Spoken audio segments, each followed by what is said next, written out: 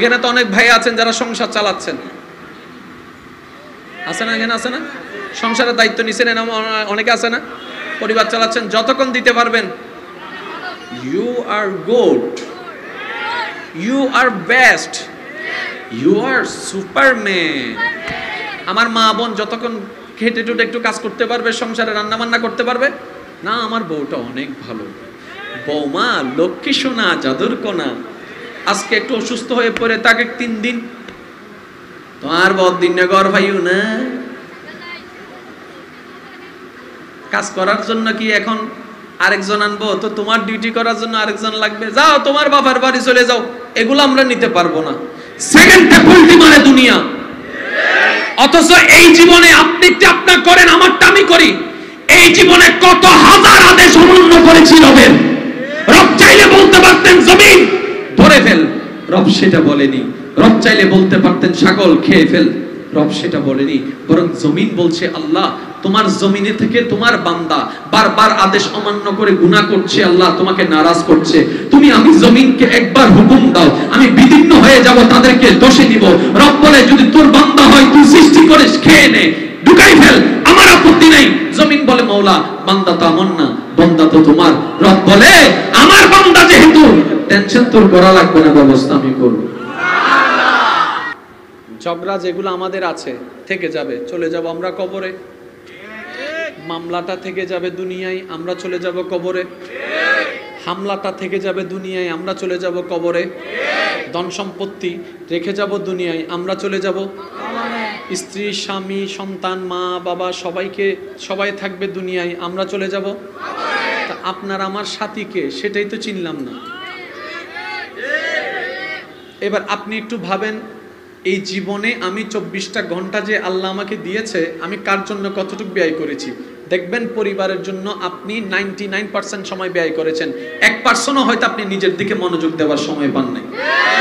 যেমন আমার প্রবাসী ভাই যারা আছেন দিন রাত পরিশ্রম করছে। মিডিল ইস্টে যারা আছে, এখানকার তার তুলনায় তাদের ওখানে তাপমাত্রা অনেক বেশি। কিন্তু তারপরও তারা কাজের মধ্যে চলে যাচ্ছে, ঘুমের ঠিক নাই। খাবারের ঠিক নাই। রোদ, মারাত্মক রোদ। শরীর তো কভার দেয় না, হাজার হলো তো মানুষ। তারপরও যখন শরীর ক্লান্ত হয়ে যায়, যখন চিন্তায় চলে আসে পরিবারের কথা, মায়ের চেহারা বেশি উঠে বউয়ের চেহারা বেশি উঠে, সন্তানদের ভবিষ্যতের চেহারা বেশি উঠে, সে আবার নতুনভাবে একটা শক্তি অনুভব করে, আবার কাজের মধ্যে লেগে যায়। ঘামের পর ঘাম পড়ছে, খাবারের কোনো ঠিক নাই, পানির কোনো ঠিক নাই। ও ভাই, এত করছ কেন? এত কষ্ট কেন সহ্য করছ? আমার যুবক ভাই, আমার সে প্রবাসী ভাই বলবে, আমি যদি কষ্ট করার কারণে, একজনের ত্যাগের কারণে যদি পাঁচজনের মুখে হাসি ফুটে, এটাই আমার জন্য পাওয়া, এটাই আমার জন্য পাওয়া, আমার জন্য পাওয়া। এবার এটাই হচ্ছে পুরুষ জাতি, দিন রাত করে যাচ্ছে, এটাই করা দরকার, এটাই সুন্নত, এটাই দায়িত্ব, কর্তব্য পালন করতে হবে। কিন্তু শ্রদ্ধার সাথে বলি, নিজেরটা ভুলে যাইয়েন না। কারণ নাইনটি নাইন আপনি যাদের জন্য করছেন, তারাই চোখ উল্টাই ফেলবে, এটাই বাস্তব। ইচ্ছাই হোক, অনিচ্ছাই হোক, করোনাকালীন সময় তার বাস্তব প্রমাণ পৃথিবীকে দেখাই দিয়েছে। আপনরা পর হয়ে গিয়েছে, আপনরা পর হয়ে গিয়েছে, চিহ্নেওয়ালা অচিন হয়ে গিয়েছে। কিন্তু তখনও বান্দারা বারবার স্মরণ করছে একজনকে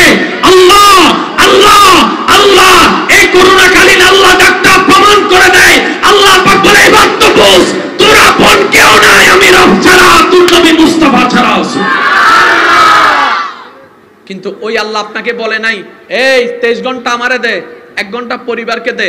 এটা বলে নাই। আল্লাহ কি বলছে দেখেন, বান্দা তোর জন্য আমি চব্বিশটা ঘণ্টা দিয়ে দিলাম। চব্বিশটা ঘন্টায় পাঁচ ওয়াক্ত নামাজ পড়তে বেশি থেকে বেশি এক ঘণ্টা লাগবে। তুই এক ঘণ্টা আমারে দে, আর বাকি তেইশ ঘণ্টা আমি তুলে দিলাম। কিন্তু দুনিয়াকে জিজ্ঞেস করেন, দুনিয়া বলবে যে, তেইশ ঘণ্টা আমারে দাও। এক ঘণ্টা গুঞ্জো জোরে বলেন না। বসে বলবে যে, তেইশ ঘণ্টা আমারে দে। এক ঘণ্টা খাওয়া দাওয়া। তোর বাকি কাজ। কিন্তু ওই মহান রব কি বলে, এক ঘণ্টা আমাকে দাও তেইশ ঘণ্টা তুমি নাও। আল্লাহর ওয়াস্তে এবার আপনারা বুঝতে পারবেন, আমাদের জীবনে গুণা বেশি না সব বেশি? আর একটু জোরে। আমার জীবনে গুণা বেশি। আমার মতো পাপির একটু বলেন তো, আমাদের জীবনে কি গুণা বেশি না সব বেশি? আমার মা বোন শুনছে হয়তো। ওনারাও হয়তো আমাদের সাথে একমত যে আমাদের জীবনে সওয়াবের তুলনায় গুণাটা একটু বেশি। আচ্ছা গুণা বেশি হলে ভাইয়া কোথায় যায়? শুনি নাই আমি। মাইকের আবার যতটুকু যাচ্ছে, যে যেখান থেকে শুনতে পাচ্ছেন গভীর মনোযোগ, তর্ক বিতর্কের নাম ইসলাম নয়, মহাব্বতের নাম ইসলাম। গুণা বেশি হলে কোথায় যায়? কিন্তু আমাদের সবার চাওয়া কোথায় যাওয়া? জান্নাতে। এবার সব করার জন্য আমাদের কাজের দরকার আছে না নাই? কাজ করার জন্য আমাদের হায়াতের দরকার আছে না নাই? কিন্তু আমাদের হায়াতের লিমিট অর্ধেক সময় তো বাকি অর্ধেক সময় দিয়ে করল কি করতে পারব? কারণ আমরা তো সেই জাতি আমরা তো সেই গ্রুপ একটা ভালো করলে দশটা অন্যায় করি। একবার কাউকে সাহায্য করলে দশবার খোটা মেরে দেখাই দিই। আমরা তো সেই জাতি। একটা সোয়াব কামাইলে বিশটা গুণা কামাই। তো টোটাল হিসাব টান দিলে আমাদের গুনার পাল্লাটা বেশি। এবার একটু মনোযোগ, শ্রদ্ধার সাথে বলছি নবী রহমাতুল্লিল আলামিন, আল্লাহর হাবিব নবী, ওয়ামা আরসালনাকা ইল্লা রাহমাতাল লিল আলামিন ওয়ালা নবী। রবের দরবারে ফরিয়াদ করছে, ইয়া রব্বে করিম, আমার উম্মতের তো হায়াত কম। আগের নবীর উম্মতের হায়াত তো ছিল অনেক বেশি। তা আমার উম্মত তো এই অল্প হায়াতে গুণাটাই বেশি করবে, সওয়াবটা একটু কম করবে। তা আমার উম্মত যদি সবাই জাহান নামে যায়, আমি কিন্তু আমার উম্মতকে ফেলে জান্নাতে যাব না। এবার রব্বে করিম বলে, হাবিব, ওয়ালা সাউফা ইউতিকা রাব্বুকা ফাতারদা। আমি কাউকে বলিনি, আপনি নবী মুস্তাফাকে বলেছেন। ইন্না আতাইনা কাল কাউসারের তাজ আমি কাউকে পড়াইনি, আপনার মাথায় পড়াইয়ে দিয়েছি। ওয়ামা আরসালনাকা ইল্লা রাহমাতাল লিল আলামিনের শানদার চাদর আমি কাউকে দিইনি ও মুস্তাফা নবী, আমি আপনাকে দিয়েছি। আপনি খুশি হলে তো আমি রব খুশি। এবার আমি রব জানি, আপনি মুস্তাফা নবী, ধন পেলে খুশি হন না, খাবার পেলে খুশি হন না, আপনার উম্মতের মুখে হাসি ফুটলেই আপনি খুশি হয়ে যাচ্ছেন। এবার রব বলে, হাবিব, আপনি বলুন না, কি করলে আপনি খুশি হবেন? নবী বলে, আল্লাহ, আমার উম্মতের জন্য একটু দয়ার রহমতটা উন্মুক্ত করে দাও, রাস্তাটা একটু প্রসন্ন করে দাও এবার নবী রহমাতুল্লিল আলমিনের ফরিয়াদে রব্বে করিম বলে, ও আমার নবী, লা তাহাজান আপনি চিন্তিত হয়েন না, পেরেশান হয়েন না। আপনার উম্মতের যেহেতু হায়াত কম, সেহেতু সব কমানোর সুযোগ কমে গিয়েছে। আমি আল্লাহ, বৎসরে এমন একটা রাত দিয়ে দিলাম, যেই রাতে আপনার উম্মত এক রাকাত নামাজ পড়লে হাজার মাসের রাকাতের সওয়াবের ব্যবস্থা করার ব্যবস্থা আমি আল্লাহ ফেরেশতাকে হুকুম দিয়ে দিলাম, আপনার উম্মত পড়বে এক রাকাত। আমল নামায় লেখা হবে হাজার মাসের ইবাদত দেখেন, সময় বাঁচাই দিচ্ছে কীভাবে? সময় কমাই দিয়েছে, এটা যেমন সত্য, সোয়াব। জোরে বলেন না, সোয়াব। সময় যেমন কমাই দিয়েছে, সোয়াব তেমন বাড়াই দিচ্ছে। এবার একটু শুনেন, আল্লাহর নবী বলে, ইয়া রাব্বে করিম, এটা তো বছরে একবার। জোরে বলবেন না। এই সুযোগটা, এই অপরচুনিটিটা বছরে একবার। তাও আবার নামাজ নিয়ে। তো রোজা তো বছরে একবার, তিরিশটা।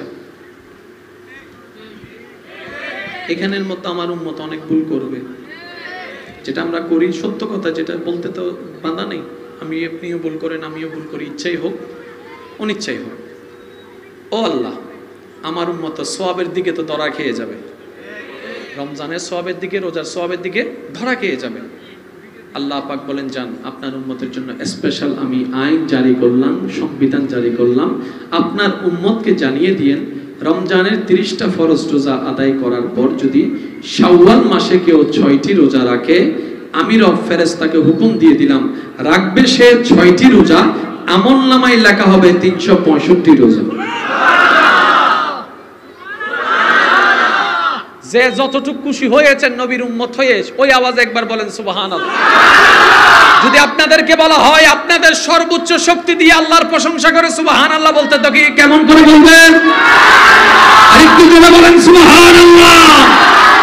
দেখেন, আমাদেরকে কীভাবে বাঁচাই নিচ্ছে আমাদের নবী? রোজা রাখব? সওয়াব পাবো তিনশো পঁয়ষট্টি রোজার। আরেকটু জোরে। এবারে নবী রহমাতুল্লিল আলামিন বলে, আল্লাহ, পাঁচ ওয়াক্ত নামাজ। কয় ওয়াক্ত? তো চব্বিশটা ঘন্টায় পাঁচ ওয়াক্ত তো এক ঘণ্টা লাগে, বাকি তেইশ ঘণ্টা তো বেশিরভাগ গুণা করারই চান্সেস বেশি। ওইটা তো বছরের হিসাব দিয়েছ, একটু ডেইলি হিসাব দাও না।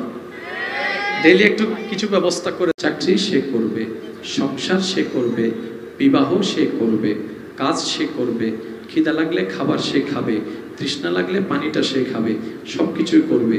আপনার উন্মতকে এতটুকু বলে দিয়েন, তারা যেন আপনার সুন্নত মোতাবেক করে। তাহলে খাওয়ায় খাওয়া হয়ে যাবে। সবের ব্যবস্থা আমি করে দেব। এবার বান্দার ব্যবসার দরকার আছে। তো ব্যবসাটা কি আল্লাহর স্বার্থে না আমাদের স্বার্থে? আমরা আমাদের স্বার্থে টাকা কামানোর জন্য ব্যবসা করি, যদি সুন্নতকে আমল করি, ব্যবসায় ব্যবসা সবে সব খাবারে খাবার সবে সব পানিয়ে পানি সবে সব কবুলে কবুল সবে সব সংসারে সংসার সবে সব ভাবলে অবাক অবাক হয়ে যাবেন আল্লাহর কত বড় দয়া। রব্বে করিম বলে, আপনার উম্মতের যেহেতু গুণা বেশি জাহান নামে যাওয়ার চান্সেস বেশি, আমি রহমান দয়া করে ব্যবস্থা করে দিলাম, উম্মতকে জানাই দিবেন, একজন আরেকজনকে দেখা হলে যেন মুস্কি হেসে সালাম দেয়।